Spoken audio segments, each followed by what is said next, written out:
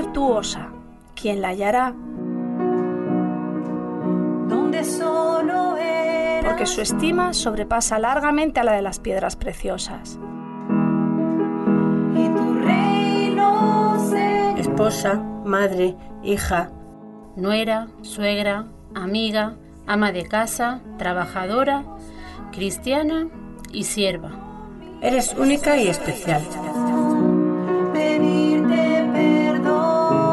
Descubramos juntas cómo vivir cada uno de nuestros roles a través de la vida de las mujeres que lucharon, que sufrieron, Mujeres que oraron, mujeres que aconsejaron, mujeres que han dejado un legado y un ejemplo para las mujeres de todas las épocas, de todas las edades, de todos los lugares y de todas las condiciones.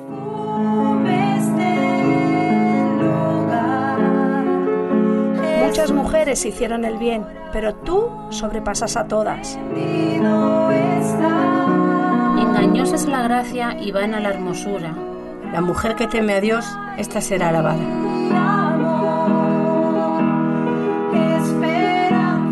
Mujeres de la Biblia, Decisiones, hechos, Vidas que hicieron que Dios las pusiese en su santo libro. Primera de Samuel, capítulo 14, versículo 49. Y los hijos de Saúl fueron Jonatán, Isui y Malquisúa. Y los nombres de sus dos hijas eran el de la mayor, Merab, y el de la menor, Mical. Primera de Samuel, capítulo 18, del versículo 12 al 29. Mas Saúl estaba temeroso de David, por cuanto Jehová estaba con él y se había apartado de Saúl. Por lo cual, Saúl lo alejó de sí y le hizo jefe de mil, y salía y entraba delante del pueblo. Y David se conducía prudentemente en todos sus asuntos, y Jehová estaba con él. Y viendo Saúl que se portaba tan prudentemente, tenía temor de él. Mas todo Israel y Judá amaba a David, porque él salía y entraba delante de ellos.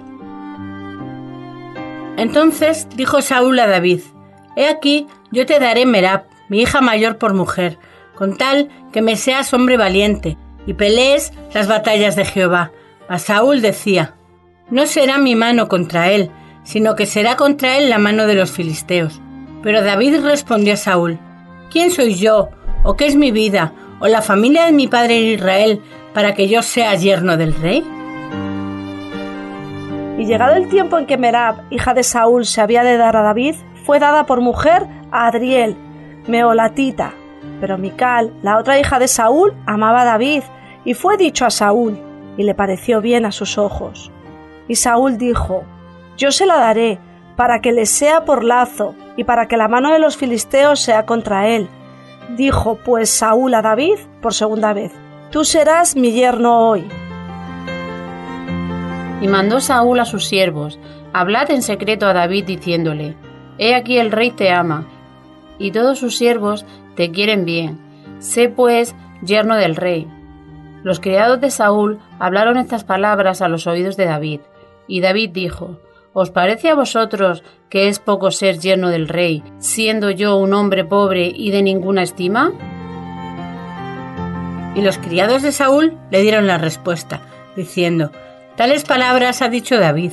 Y Saúl dijo, Decid así a David, el rey no desea la dote, sino cien prepucios de filisteos, para que sea tomada venganza de los enemigos del rey.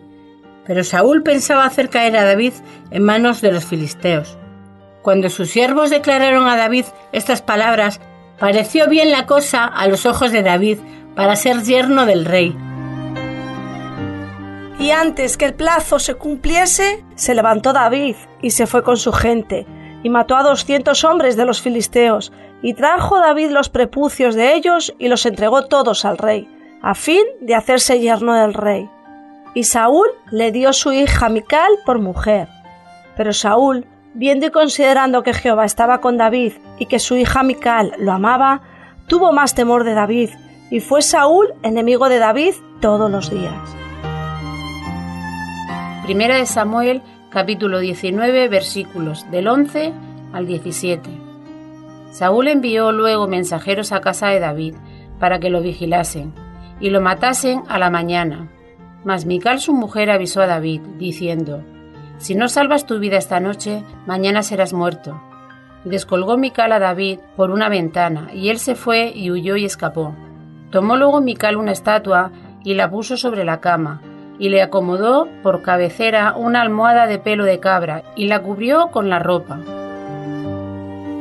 Y cuando Saúl envió mensajeros para prender a David, ella respondió, Está enfermo. Volvió Saúl a enviar mensajeros para que viesen a David diciendo, Traédmelo en la cama para que lo mate. Y cuando los mensajeros entraron, he aquí la estatua estaba en la cama y una almohada de pelo de cabra a su cabecera. Entonces Saúl dijo a Mical, ¿Por qué me has engañado así? ¿Y has dejado escapar a mi enemigo? Y Mical respondió a Saúl, porque él me dijo, déjame ir, si no, yo te mataré. Saúl hizo los arreglos para que Mical fuese esposa de Paltiel. Cuando David regresó y se convirtió en rey, ordenó que Mical le fuese devuelta, y cuenta 2 Samuel capítulo 3 versículos 15 y 16 que Paltiel lloró cuando le quitaron a Mical. Primera de Samuel, capítulo 25, versículo 44. Porque Saúl había dado a su hija Mical, mujer de David, a Palti, hijo de Lais, que era de Galim. Segunda de Samuel, capítulo 3, versículo 13 y 14. Y David dijo, Bien, haré pacto contigo, mas una cosa te pido, no me vengas a ver sin que primero traigas a Mical, la hija de Saúl, cuando vengas a verme. Después de esto envió David mensajeros a Isboset, hijo de Saúl, diciendo, Restitúyeme mi mujer Mical, la cual desposé conmigo por cien prepucios de filisteos. Segunda de Samuel capítulo 6 versículos 12 al 23. Fue dado aviso al rey David diciendo, Jehová ha bendecido la casa de Obed Edom y todo lo que tiene a causa del arca de Dios. Entonces David fue y llevó con alegría el arca de Dios de casa de Obed Edom a la ciudad de David. Y cuando los que llevaban el arca de Dios habían andado seis pasos, él sacrificó un buey y un carnero engordado.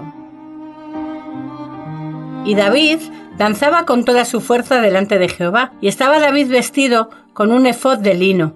Así, David y toda la casa de Israel conducían el arca de Jehová con júbilo y sonido de trompeta. Cuando el arca de Jehová llegó a la ciudad de David, aconteció que Mical, hija de Saúl, miró desde una ventana y vio al rey David que saltaba y danzaba delante de Jehová y le menospreció en su corazón.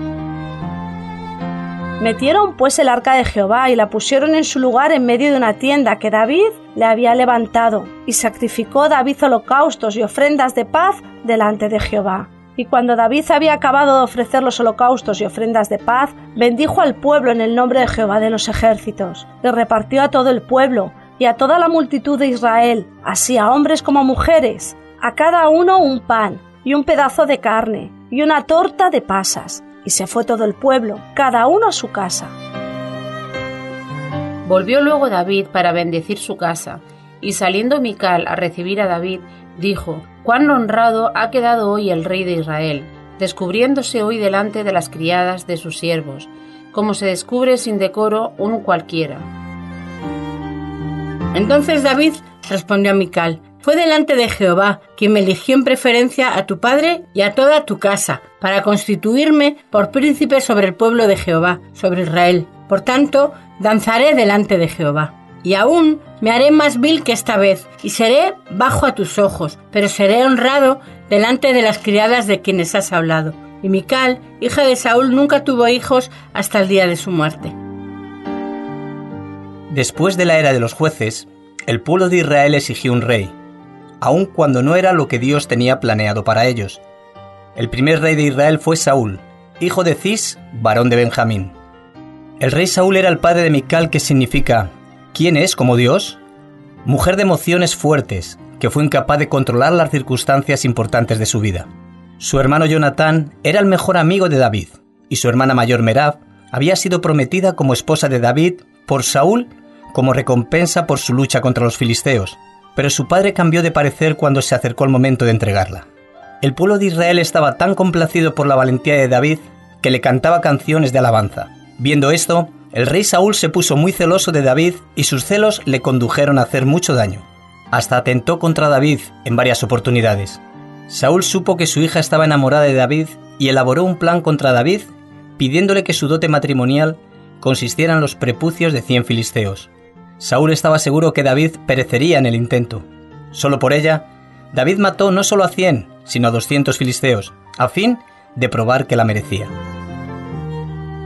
El rey siguió con sus intentos de matar a David y nuevamente fue salvado en esta ocasión por su mujer, huyendo a través de una ventana. En este suceso colocó una estatua y la puso sobre la cama, haciéndola pasar por David, que estaba dormido. Se alejó de la ventana agradecida por la oportunidad de haber ayudado a su marido a escapar. Bajo circunstancias normales, es incorrecto desobedecer al padre o resistirse a la autoridad legítima. No obstante, en este caso, Milca mostró un osado desafío a un padre que había perdido la razón debido a su odio por David. Ella demostró gran valentía al salvar la vida de su esposo.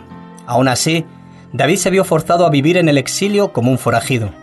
Pasaron unos cuantos años cuando Mical estaba nuevamente asomada en la ventana, mientras observaba la escena que se desarrollaba abajo. David, que ahora era rey, había entrado en Jerusalén saltando y danzando delante del arca del pacto que llegaba a la ciudad. Le pareció ridículo a Mical verlo así. David ofreció los sacrificios y bendijo al pueblo. Luego, entró a su casa para bendecir su hogar, pero la hija de Saúl le salió al encuentro con una mirada desdeñosa. Dos veces observó Mical a David desde una ventana. En la primera escena, las escrituras la describen como la mujer de David, la segunda como la hija de Saúl. En efecto, su actitud había cambiado tanto que quedamos desconcertadas al ver cómo observaba ella a David. Estos versículos muestran el resentimiento de Mical. Posiblemente no entendía la importancia del arca del pacto, ni el celo de David por el Señor. No observamos en las escrituras ninguna relación de Mical con el Dios viviente. No existen evidencias de una fe capaz de sostenerla y este acontecimiento nos revela su propia falta de verdadera entrega. Se conformaba con ser una espectadora crítica en lugar de una verdadera adoradora de Dios. Y sin lugar a duda, no debió de haber reprochado a su marido públicamente por sus acciones cuando salió a recibirle. Qué contraste entre la Mical cuando recién la conocemos y ahora unos años más tarde. Al principio amaba profundamente a David y terminó despreciándolo con todo su corazón. Nos encontramos con una mujer que comete el error de fijarse en las apariencias, en lo externo, y no en lo interno, en el corazón, donde las escrituras nos dicen que David era un hombre conforme al corazón de Dios. Primera de Samuel, capítulo 13, versículo 14. La lección más obvia que tenemos de Mical es acerca de la falta de armonía, la infelicidad y la tragedia que sobreviene cuando una pareja no rinde culto juntos al Dios único. Segunda de Samuel, capítulo 6, versículo 23. Y Mical, hija de Saúl, nunca tuvo hijos hasta el día de su muerte. El amor inicial de Mical por David no fue suficiente como para asegurar un matrimonio feliz. A menudo, la gente se quiere casar pese a las diferencias de fe entre ellos. Creen que el amor del uno por el otro mantendrá unido el matrimonio, pero no es así como las escrituras nos muestran. En Eclesiastés capítulo 4 versículo 12 dice, Y si alguno prevaleciere contra uno, dos le resistirán, y cordón de tres dobleces no se rompe pronto. Las familias deben enseñar a sus hijos a comprender este principio básico en un matrimonio si quieren que la bendición de Dios esté en sus hogares. Mical tampoco comprendió, ni siquiera trató de comprender las intenciones de su esposo. Las consideró incorrectas y se lo reprochó. Segunda de Samuel capítulo 6 versículos 20 al 22. Volvió luego David para bendecir su casa, y saliendo Mical a recibir a David, dijo, Cuán honrado ha quedado hoy el rey de Israel, descubriéndose hoy delante de las criadas de sus siervos, como se descubre sin decoro un cualquiera. Entonces David respondió a Mical, Fue delante de Jehová, quien me eligió en preferencia a tu padre y a toda tu casa, para constituirme por príncipe sobre el pueblo de Jehová, sobre Israel. Por tanto, danzaré delante de Jehová. Y aún me haré más vil que esta vez, y seré bajo a tus ojos, pero seré honrado delante de las criadas de quienes has hablado. David adoró a Dios con total entrega, con corazón sincero. Esta es la adoración que al Padre le agrada. Juan capítulo 4 versículos 23 y 24. Mas la hora viene, y ahora es, cuando los verdaderos adoradores adorarán al Padre en espíritu y en verdad, porque también el Padre tales adoradores busca que le adoren. Dios es espíritu, y los que le adoran, en espíritu y en verdad, es necesario que le adoren. Su devoción era tan profunda, tan real, que necesitaba expresarla a través de una alabanza desbordante y de una danza con gran entusiasmo. Y aun cuando David le explicó, Mical no supo pedirle perdón. Muchas veces juzgamos indebidamente a la gente porque no comprendemos sus razones. El verdadero amor dado por Dios entre un hombre y una mujer produce armonía y comprensión. Un hogar cristiano debe ser un lugar seguro y feliz, en el que el esposo ama verdaderamente a su esposa y la esposa respeta con sinceridad a su marido. Las escrituras en Efesios capítulo 5 versículos del 22 al 33 nos enseñan lo siguiente. Las casadas estén sujetas a sus propios maridos como al Señor, porque el marido es cabeza de la mujer, así como Cristo es cabeza de la iglesia, la cual es su cuerpo y Él es su Salvador. Así que, como la iglesia está sujeta a Cristo, así también las casadas lo estén a sus maridos en todo. Maridos, amad a vuestras mujeres, así como Cristo amó a la iglesia, y se entregó a sí mismo por ella, para santificarla, habiéndola purificado en el lavamiento del agua por la palabra, a fin de presentársela a sí mismo una iglesia gloriosa, que no tuviese mancha ni arruga, ni cosa semejante, sino que fuese santa y sin mancha. Así también los maridos deben de amar a sus mujeres como a sus mismos cuerpos. El que ama a su mujer, a sí mismo se ama. Porque nadie aborreció jamás a su propia carne, sino que la sustenta y la cuida, como también Cristo a la iglesia, porque somos miembros de su cuerpo, de su carne y de sus huesos. Por esto, dejará el hombre a su padre y a su madre, y se unirá a su mujer, y los dos serán una sola carne. Grande es este misterio, mas yo digo esto respecto de Cristo y de la iglesia. Por lo demás, cada uno de vosotros ame también a su mujer como a sí mismo, y la mujer respete a su marido. Desde Radio Luz a las Naciones queremos anunciaros que los viernes A partir de las cuatro y media hasta las seis, Estará en directo el programa Mujeres de la Biblia. donde solo eras tú. os esperamos.